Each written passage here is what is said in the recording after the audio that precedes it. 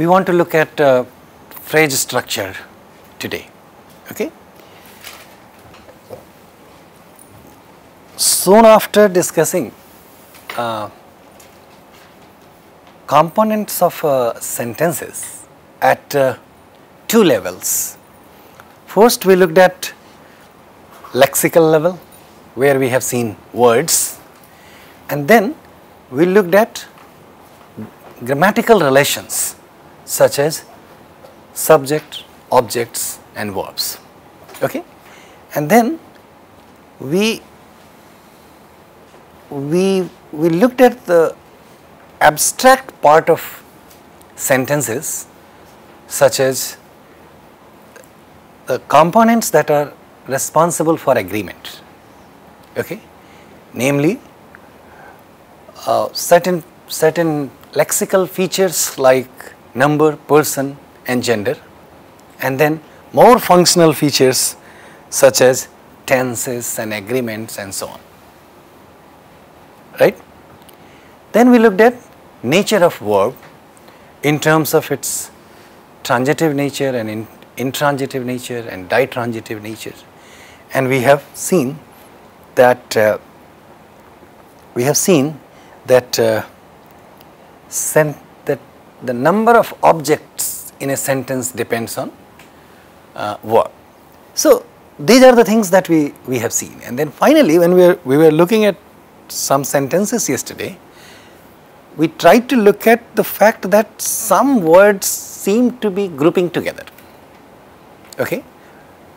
In other words, besides grammatical relations in a sentence like subjects and objects, we have more to look at in the sense that each word in a sentence may belong to a particular category, but they do not have their independent status only, which is to say they, they make a, make a block.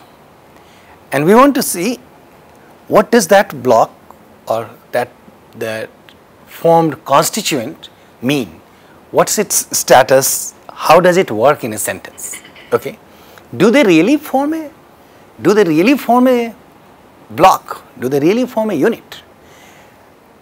Uh, and then if, if they do, then how are they represented and how do they interact with other, with, with other units, that is other blocks and components within that unit itself. Okay? So, such as when we, such as, look at this sentence, when we, we talked about this, the fat monkey was jumping on the roof of this, roof of this building. We are saying the fat monkey is forming a constituent, right?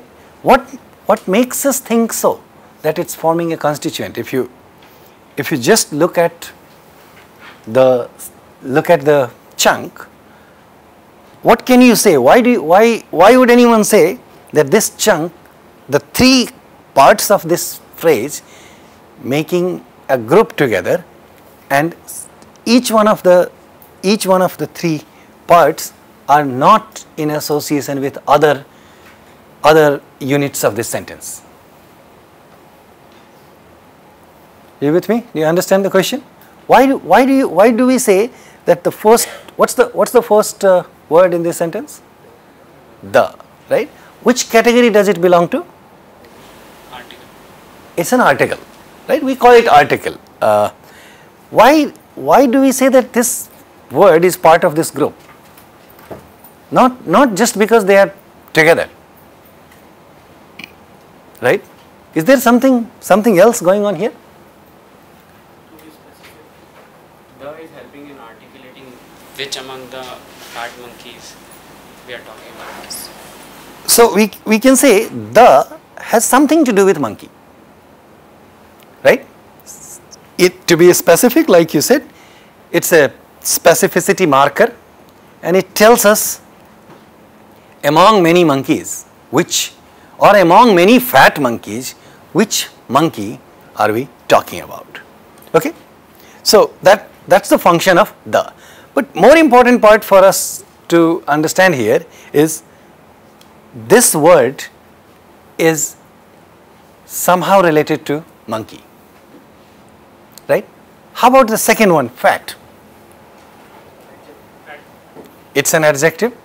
What is it doing in this sentence? What is it talking about? We know that adjectives describe something, it, it gives us some ad- additional information. So, what is it giving additional information about? The monkey, right?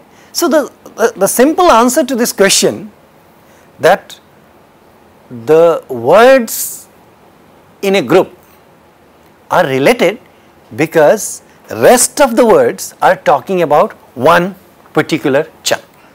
One, one particular thing in the whole chunk right?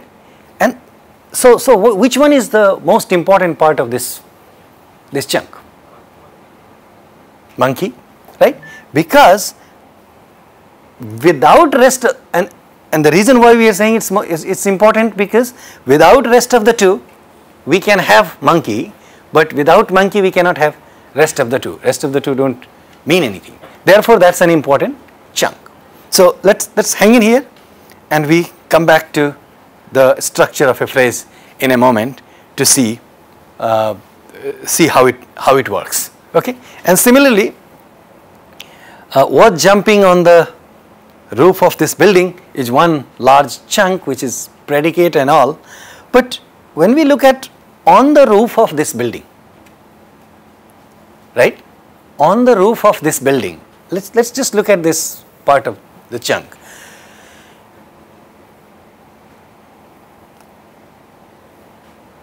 We see that there are two parts okay on the roof right and of this building. If I give you the whole chunk together, which one is the most important part of this whole chunk? Anybody? Please look at the whole thing. On the roof of this building, this is what we are saying is one chunk, right? Which one is the most important part? Like monkey was the important part of the first, first group of words. Building? or uh, roof? If you are saying roof, you need to say why. If you are saying building, you need to say why. Go ahead. Because the monkey was jumping on the roof and we are specific to that. It, it Sure. It was jumping on the roof. Roof of what? Roof cannot be hanging thing. right Uh, in a way i am i'm trying to answer your your part so why is building important in this whole phrase because on the roof right in a way is talking about of this building. All right? So the relationship between see these two these there are two phrases in this bigger phrase right? And one is related to the other one. Okay? So now if you are looking at the first one on the roof then roof is important because the is describing the is talking about roof and on as a preposition is also telling us something about the roof. If you look at another the the last chunk of this building same thing is happening. What is what is this? As a category anybody? This as a word which category does it belong to no idea.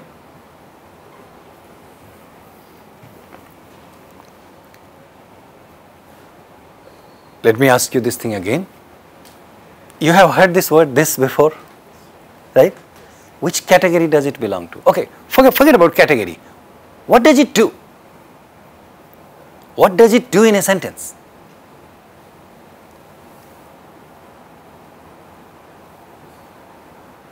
No?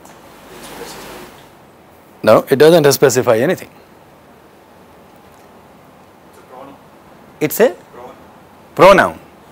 Okay. What does what do pronouns do? substitute for each time instead of each time specifying what the subject is, you use this to substitute. I mean, like So what is this substituting the, here? I mean, instead of specifying what that building was, you replace it by this. I mean, you might have specified it earlier or something.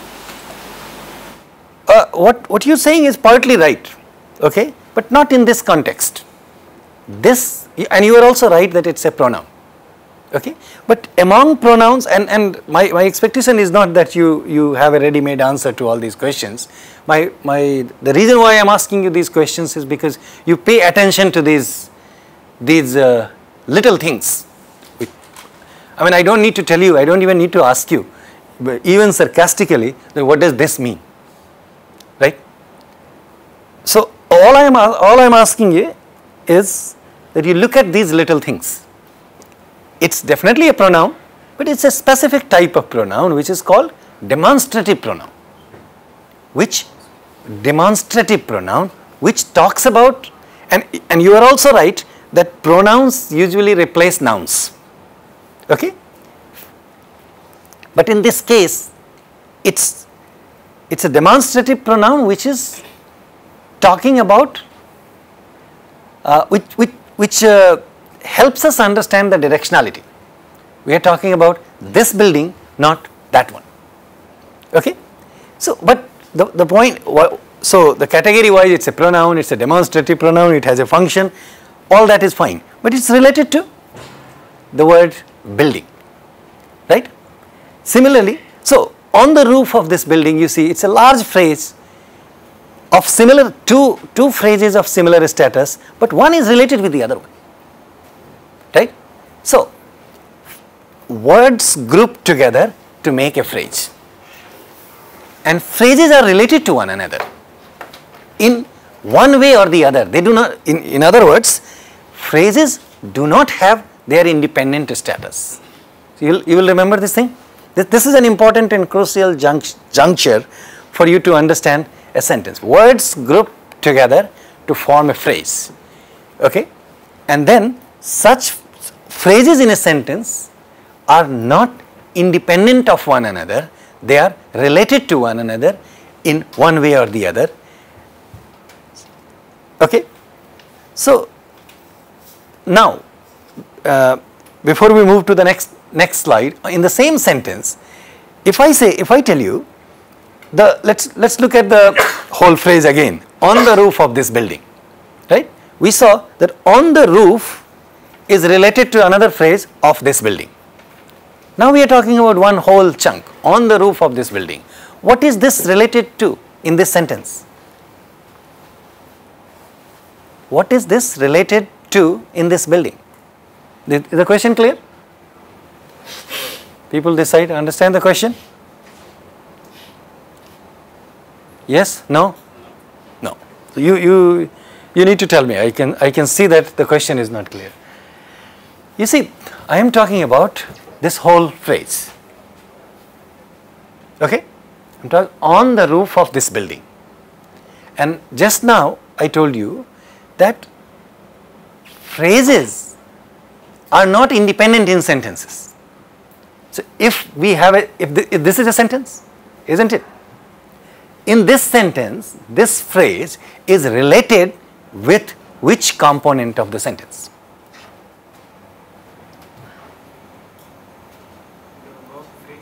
Sorry? The verb phrase. The, the verb phrase, right? It, the, the whole thing is part of verb phrase, but it's also related to the verb phrase and to be really precise in the verb phrase, it's related to verb,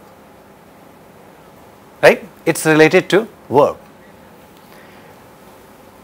So, and, and what is this related with? The fat monkey is also related to verb, right? And what is the nature of this verb, jump? This is a transitive or intransitive verb? Transitive or intransitive verb? Transitive verb? How do you think it's a transitive verb? It's not the we remember we cannot question jumping on what?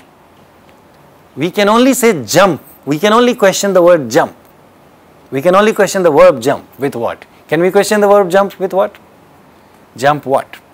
Not jumping on what? Get it? Stand and stand up are two different verbs. Okay, I'll, I'll, I'll go to those things later. So, you, after looking at every single word every single part of this sentence, how every single part is related to rest of the part. Is this making sense to you? Now, let's look at some more phrases and see how it, how it works. So, see, when th- this is what we have been looking at so far. When we look at the, the two words, the student, we know that this is forming some kind of a group, right? Because the, the words like the, a, some, to, these are all in a when they precede a noun in in language like English, when they precede the nouns like student, book, papers, pens, they seem to be forming a group. And in that group, the, a, some, and to are called determiners.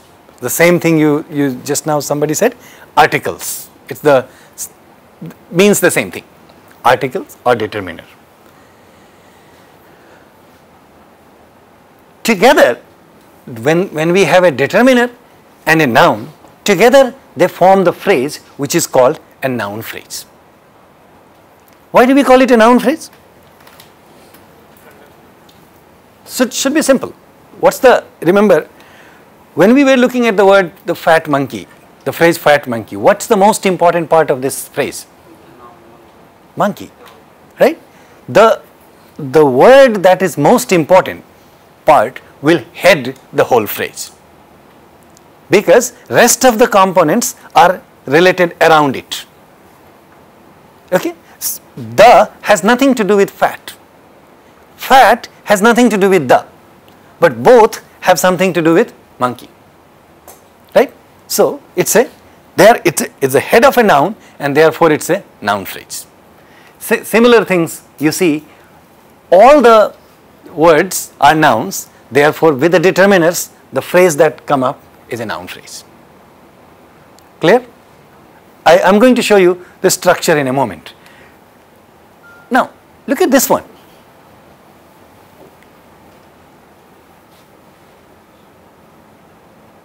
uh, what's this we now we see call the doctor uh, I'm sorry, call the student. You see, the, the, the noun phrase is now in association with a verb, right? The, the focus changes. What's the important part of this, this, this phrase? Verb. Therefore, it becomes a verb phrase. So, a verb phrase can have a noun phrase in it.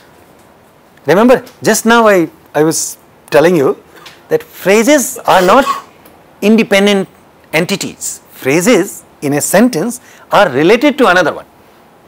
And this is how the, the, the whole combinatorial process in a sentence works. This is how we build a sentence.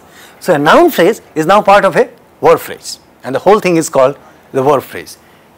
Buy a book, bring some papers, give two pens. Okay?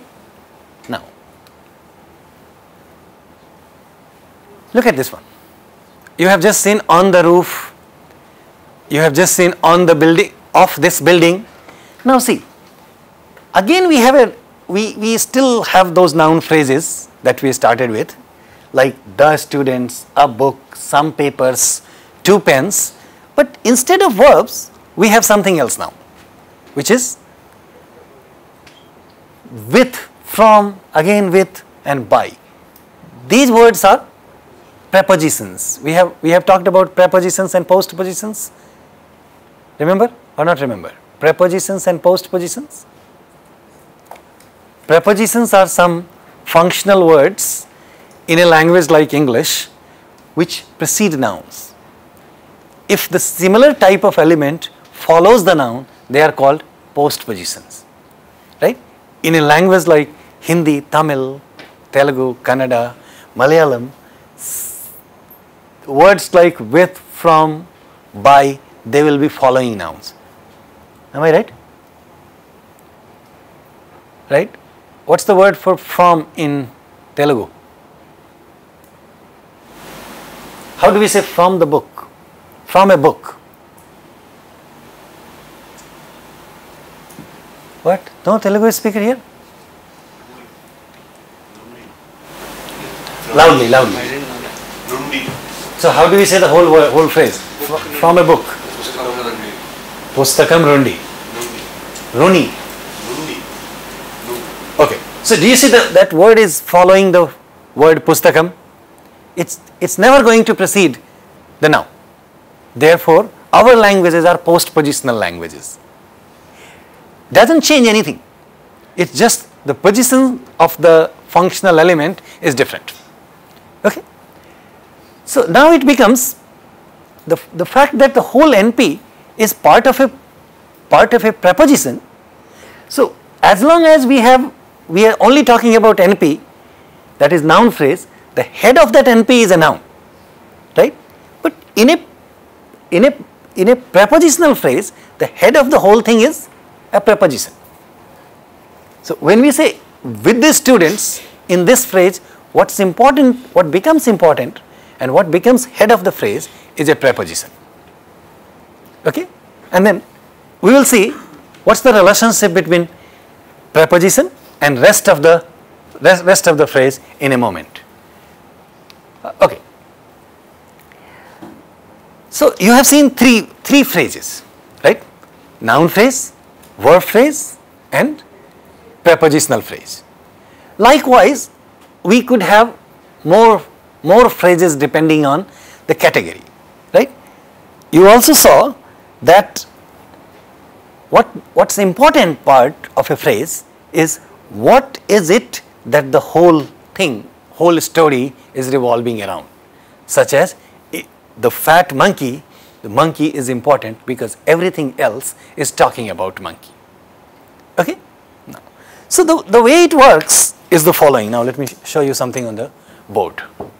So, so we see we have a we have a noun right this is a this is called a lexical item a lexical category right? And then the moment it is it comes with a determiner right? The the two things make a phrase all right? Which is to say and, and the phrase is a noun phrase which is to say if noun heads the phrase it's okay that it has a determiner.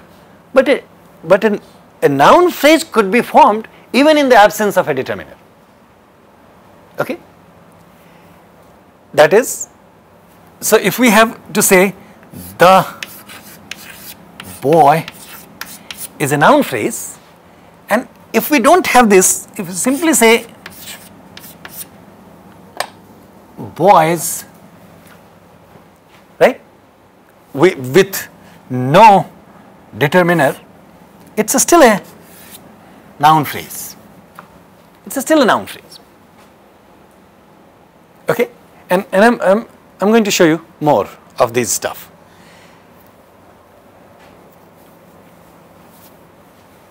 So what's the okay let, let's look at uh, we- since we are talking about phrases let's let's first talk about phrase structure rules then you saw that we have a, we get a we get a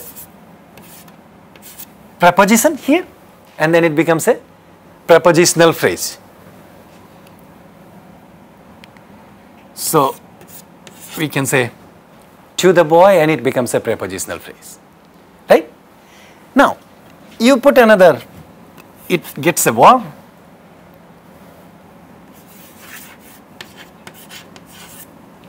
and it becomes a verb phrase. Okay? So so far so here you have a noun phrase.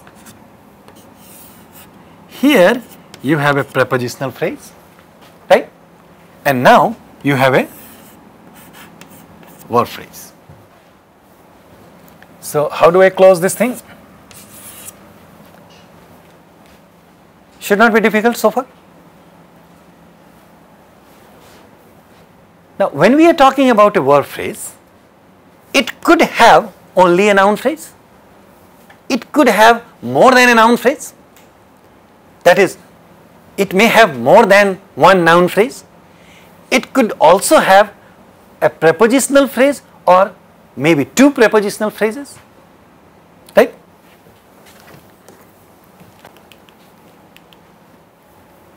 On the on the roof of this building, it may have two prepositional phrases in it, right? Jumping on the roof of this building, the whole verb phrase has a verb phrase and two prepositional phrases, right? Within the prepositional phrase, you see a preposition, a pre prepositional phrase on this building, on, on the roof, the roof is a noun phrase and on the roof becomes a prepositional phrase. We are talking about the same thing so far. But this is not a sentence yet. Why is this not a sentence so far? Can we say this is a sentence now?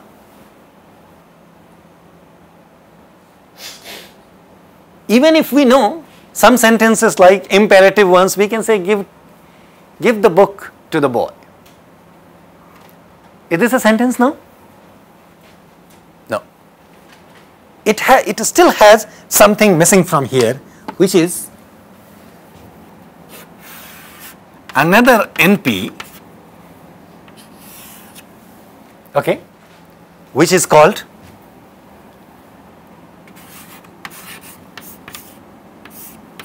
subject. Okay? Which is now this is a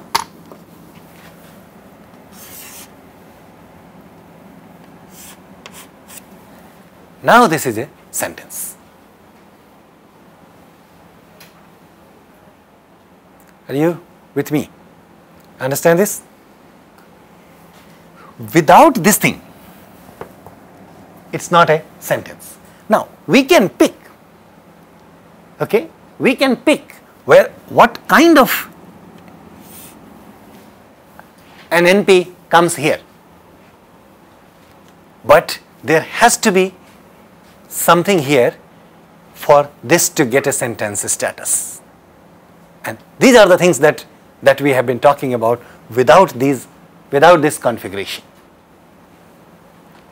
Okay? So even when we don't say you and we just say give the book, we mean that this is here. Okay? We have we have a different sentence.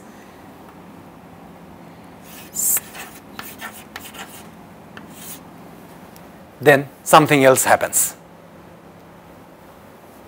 So far, now, now let me draw your attention to something else. You may have seen that the noun phrase becomes part of a prepositional phrase. The whole prepositional phrase combines with the verb and becomes part of a verb phrase, right? But there is there isn't anything what we refer to as agreement. Okay? That takes place only between these two. Right? So if I say John give a book to the boy, is that a good sentence? John give a book to the boy, is that a good sentence? Yes? John give a book to the boy, is this a good sentence? Some of you are saying yes. Sorry? The punctuation is good, then you can say it's good sentence. Right, right. I mean, so what basically what you are saying is your punctuation is correct. We are saying, John, you give the book to the boy. That's not what I am asking. I'm asking, if I want to say, John, give a book to the boy, is that a good sentence? That's not. How will that become a good sentence? We need to do something here, right? So, what is it missing actually? The agreement is not correct. That is singular noun, singular subject, there is no singular marker here or At least this doesn't doesn't reflect agreement properties taken care of. So, in the in the combinations of phrases, the how phrases are combined with another phrase is one part, agreement is another part, which bec- which takes place between these two. I don't think I'm talking about anything new. We have already discussed this thing, haven't we? Yes or no? Right? So this is how we get a full sentence. And this thing that, that you see, sentence, NP, VP, right?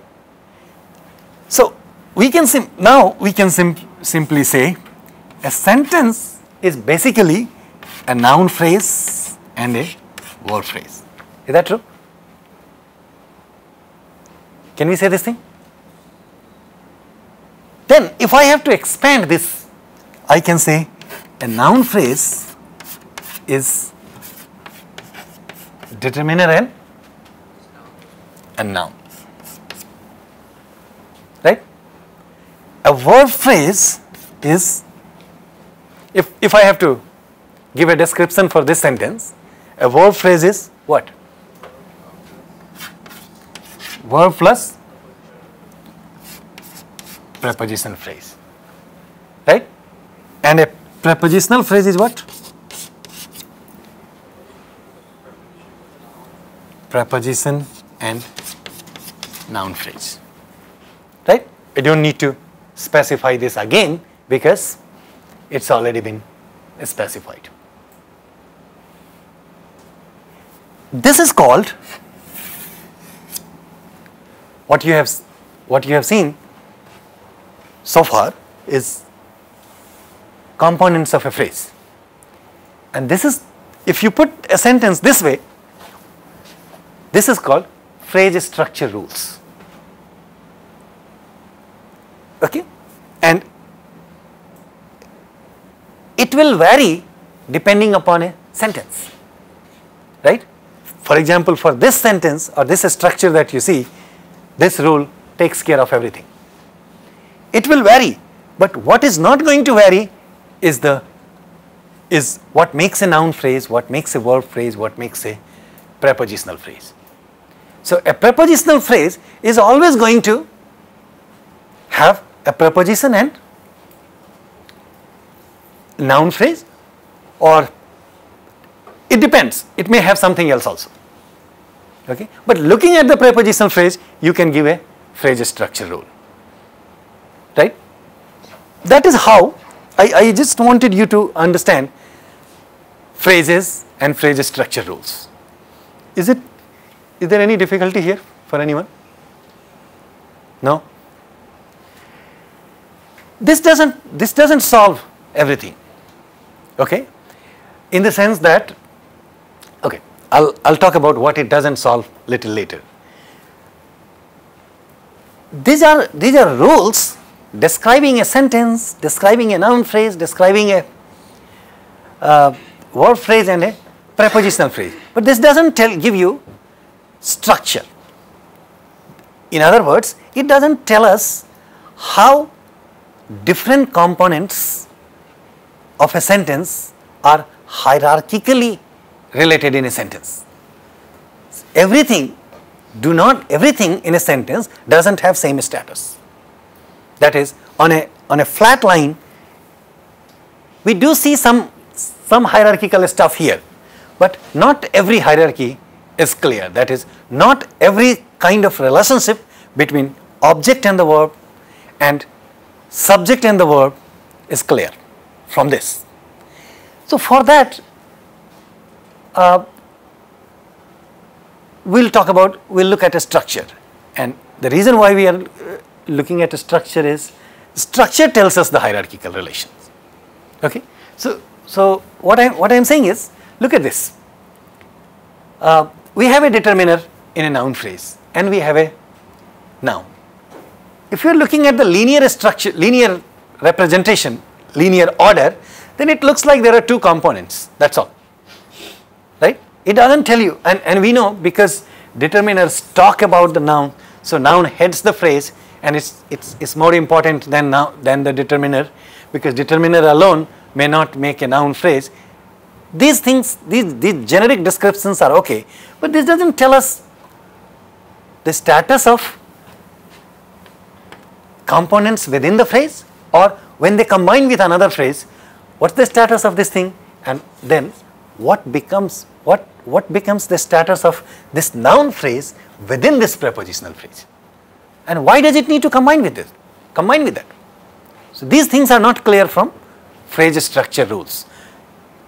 Are you, are you with me? What phrase structure rule simply tells us is it gives us a description. It looks uh, more fancy. Right? It what we are looking at if you look at this this sentence sorry these rules right? These rules are mere description of this sentence that's what i am telling you do you, do you follow this thing these rules are mere description of this this sentence what it does not do is how is it why is it that these two things need to combine and once they combine what becomes their status of a noun phrase, the whole noun phrase within this prepositional phrase is not clear. Okay. Of course, once we, There is an implicit hierarchy there. so, true, absolutely right. There is an implicit hierarchy that preposition is more important and noun phrase is not important, not, not that important. But then what's the relationship between the two? we, we, we can still, what you're saying is we can capture the significance of something of a noun phrase within a verb, within a prepositional phrase. We can capture the significance of a prepositional phrase within a verb phrase, right? Or a noun phrase within the verb phrase.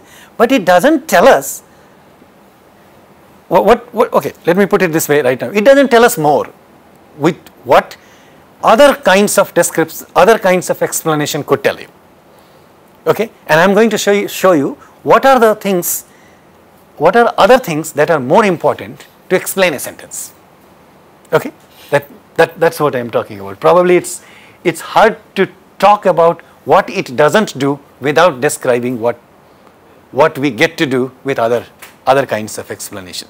So, uh, so please keep this these phrase structure rules in mind so that we can compare what was what what are the things that this doesn't do, right? Now, before we dismiss this thing, we have just seen that and we are, we, we are not going to dismiss in the sense that it has no meaning. No, we are not saying that it has no meaning. It nicely describes a sentence. And what it also does is it gives you the framework for generating lots of sentences. For example, this is the phrase structure for a sentence. So all the sentences are going to have the same, same phrase structure. Okay, as far as we are concerned here, all the sentences are going to have this.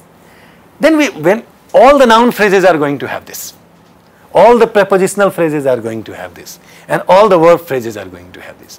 Whether all of them are needed in a sentence or not is not a restriction. A sentence may have simply a, a noun phrase and a verb phrase, right? And it may end here with an with, or, or it just may end here a sentence may not have a prepositional phrase at all. Now, the point is phrase structure rules help us generate lot of lot of more and new sentences. Phrase structure rules were also part of or are part of generative generative framework. So, once in, in the earlier days of this, this study, this was very prominent when people had not figured out more. By now, lot more, lot, lot more things have been figured out. And we are going to talk about other stuff. Okay? So, see, instead of representing these things in terms of rules, later on what happened was these things were represented in terms of structural configuration. So, look at this, how it works. So, the structure of a phrase is this way and then we'll, we'll stop.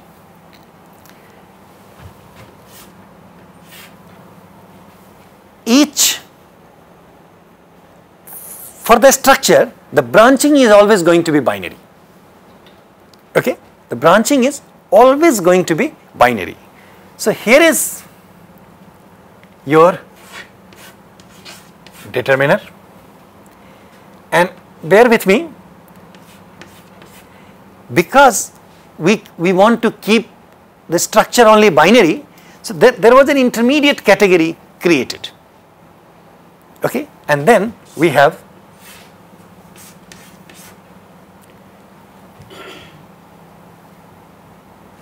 okay let me let me put it this way for a moment. Are you are you with me? Do you see see this structure we are we are almost doing the same thing here. We are almost trying to do the same thing. But we are putting this thing in terms of structural configuration. For that structure the branching is only and always binary. Okay? So we can say we can see we can we could have also said that look determiner and noun here. End of the story. Right? But if we do that then this let's let's put it here. If we do this right then there is no other way for expanding this phrase. Okay? No other way to expand this phrase. This is this becomes a closed phrase. What this kind of to in order to expand this phrase an intermediate category was created this is called n prime or n bar. Okay? It helps us branch further. And this becomes the head position in a phrase so this position is called where where we get a specifier. Sorry the, where we get determiner this position is called specifier position in which we get determiner this position is called head position in which we get the main component of the phrase. And this position is called a complement position. Okay? So the idea is in retaining the head of the phrase we need to have these two things.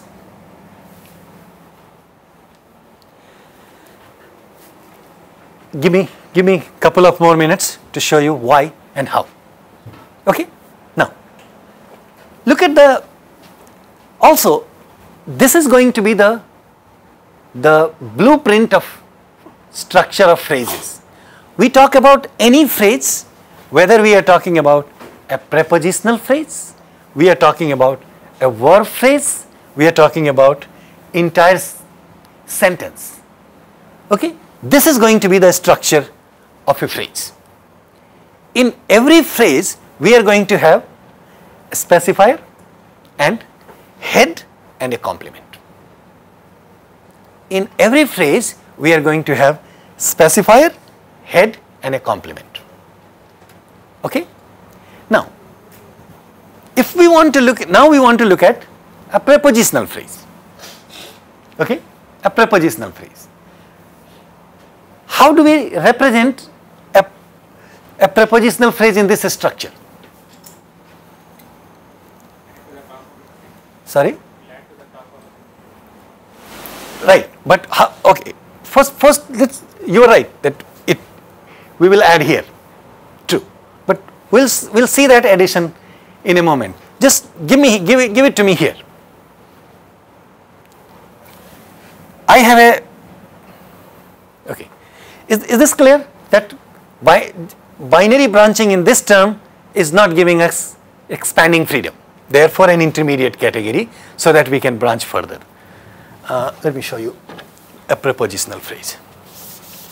So this is how a prepositional phrase works. Remember, this is a blueprint of a phrase.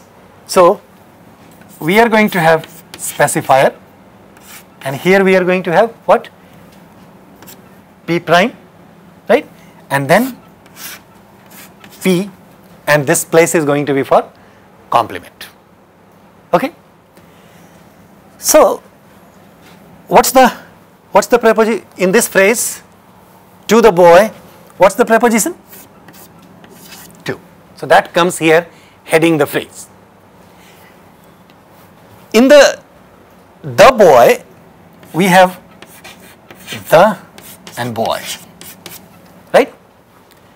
we had a determiner that is a specifier. In the prepositional phrase you don't have a specifier. So this position stays empty. We have a head preposition comes here and then the in the complement position we have an np which is the boy the boy right this np position is going to be expanded again this way. This, i think pavan this is what you were talking about. It will add. So if you bring this np position here then you see the structure of a prepositional phrase. See this thing?